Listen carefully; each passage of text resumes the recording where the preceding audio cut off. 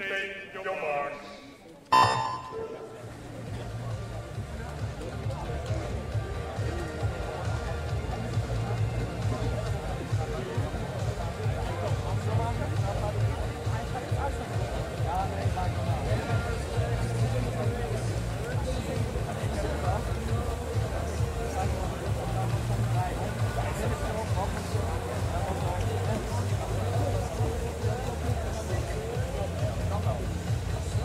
We're looking at the finish of the second heat.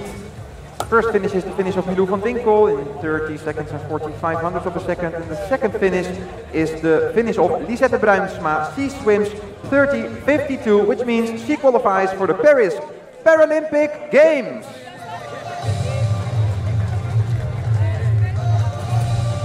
The results of the second heat are official. We continue with heat three.